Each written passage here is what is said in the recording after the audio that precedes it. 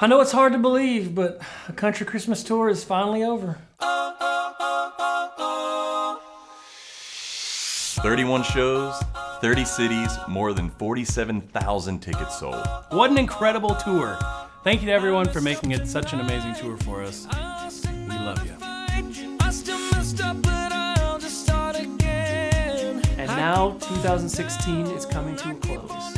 This year's been such an incredible year for us. We've had so much to celebrate. My wife and I had our first child.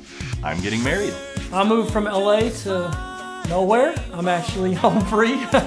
My baby girl turned two. And I obviously found myself with a new gig. we passed 100 million views on YouTube. We have over 600,000 Facebook likes. We had the number two country record in the world. We passed 500,000 subscribers on YouTube. And at the center of it all was you.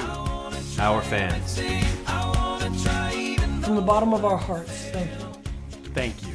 Thank you. Thank you. Thank you. We are so lucky, unbelievably so, to be able to do what we do for a living.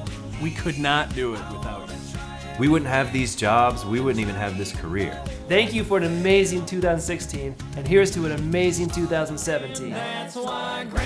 There's so much more in store. We're hitting the road this January in the UK and Ireland. We're gonna get back in the studio and record some new music for a new record that'll be out in the last half of next year. We got a spring tour booked and on sale, so come out and see us again. But for now, enjoy time with your family, because it's the holidays.